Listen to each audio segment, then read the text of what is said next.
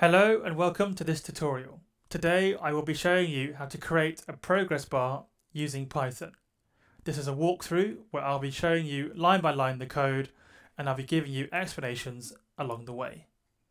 Before I start, don't forget to hit that subscribe button if you haven't already done so by either using the button on my homepage or a link that will be appearing in the video. Let's get started. The first thing we need to do is import the tkinter module as that's the module we'll be using to create our progress bar. And I've given it an alias of tkr.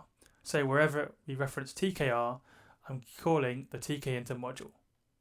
The next thing I did was create the window itself by typing window equals tkr.tk and I've given it a few generic sort of specifications like a title and a geometry by typing in window.title then in quotation marks calling progress bar and window.geometry in quotation marks typing 400 by 30 which is sufficient for this tutorial. The next thing we need to do is actually create our progress bar and pack it into our window. And now the progress bar sits in a different part of the tkinter library. It sits in what we call the TTK area of tkinter. Now, when we typed in, when we created our window, we typed in tkr.tk and the TK area and the TTK area both have very similar class names. And so you need to separate out the class names. And I've done that by re-importing T a sub area of tkinter, the TTK area, as tkrtk. And we're going to be using that to actually create our progress bar. And how I've done that is I've typed in progress bar equals tkr tk, calling our TTK area of tkinter, dot progress bar, then in brackets typed in window, packing it into our window. And then I've orientated it horizontally, so it's going to go along and then its length is 400, the same as the geometry length I specified for the window. And then mode equals determinate.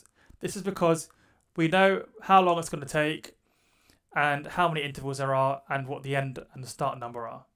If we if our if our sort of um, our timings and our progress bar was determined by things such as internet speed, connectivity, or processing power of the computer, then our mode will be indeterminate because we wouldn't be sure you know, how long it would take and how many intervals there are. The next thing we need to do is pack our progress bar into the window. So we've created it using this line here. Now we need to pack it. We do that typing in progress underscore bar dot pack. And then we've packed it to the top by typing in in the brackets of pack side equals top with top being in quotation marks. And top also has to be have a lowercase t. If it has a capital T, it won't work in this case. So that is our progress bar created. Now comes the difficult bit. Now we need to create our start number, our end number. We also need a way of updating our progress bar. And also we need to specify the time intervals. And we also need to find a way of updating the number as we go along.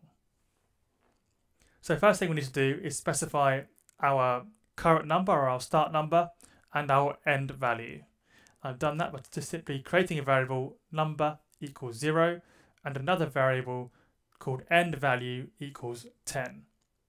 So this number will start at 0 and it will update by a specific interval as we go along until it reaches our end value 10. The next thing we need to do is we need to create a way of updating the number um, and so that it can be repeated over and over again. And the best way to do that until we get to 10. And the best way we can do that is by putting it in a function. And I've done that exactly here. So I've called this function amount. Then in the amount of brackets, I've called number. And then below the number, I've called progress bar square brackets value equals number. And that's a very useful way of updating the number as we go along.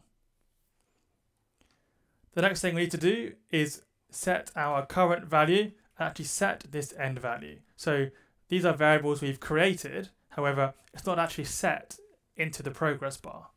And that's what we need to do here below. And we've done that by typing in progress bar square brackets value equals number. So that sets our value as starting at zero and updating as we go along.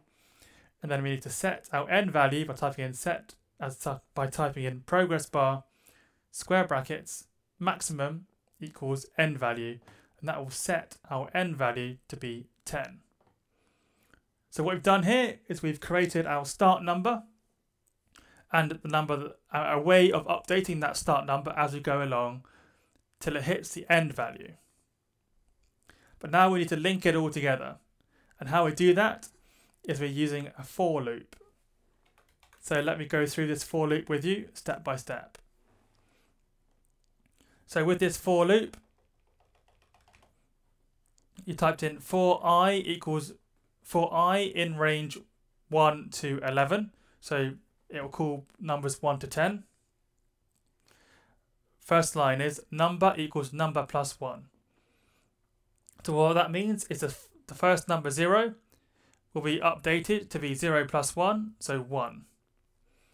And then what will happen is that number 1 will be printed on our output, on our right, as a string by type as a percentage by type, timesing that 1 by 10 and then adding a percent sign at the end. So this will also update giving intervals by our percentage progression of um, of the progress bar. The next thing we need to do is is um, specify how how long we want between each interval, and we do that by using the after function.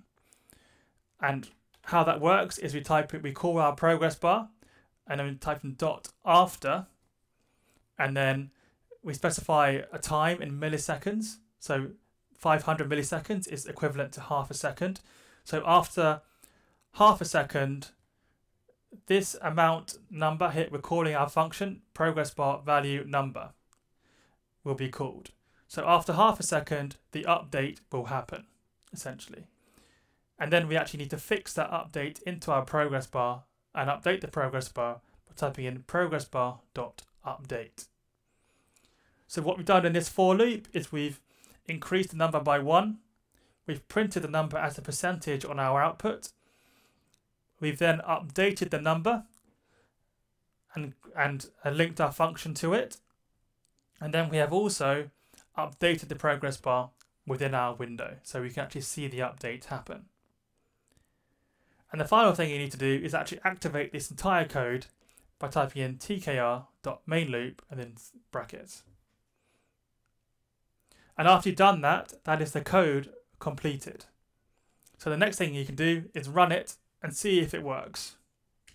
So if you run it, we can see here that it has worked. We've got our progress bar updating on the right. We have our numbers updating also on the output. So let me do that again. Let's run it. Here our progress bar has up, is updating as we go along. And we have our numbers running down on the right.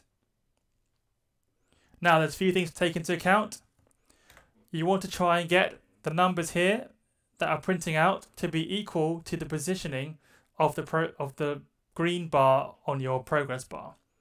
So if I put this print number sort of below, uh, not there, below the delay, it will start to look a bit odd and I can show you.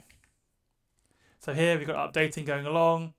Notice that this is providing a delay so the, the by the time this output number has been printed, this progress bar is already going up to the next value. So you need to be very careful with where you're putting your your outputs if you're doing it in relation to the progress bar. So that is it for this tutorial. I hope you've enjoyed enjoyed it. And don't forget to subscribe to my channel and don't forget to watch any other videos I've got loads more on creating different sorts of GUI widgets. I've also got others things on importing Excel files and exporting Excel files. I've also got a couple on reading PDFs and just make sure you watch it all and you learn a whole ton of stuff. Thank you very much for watching.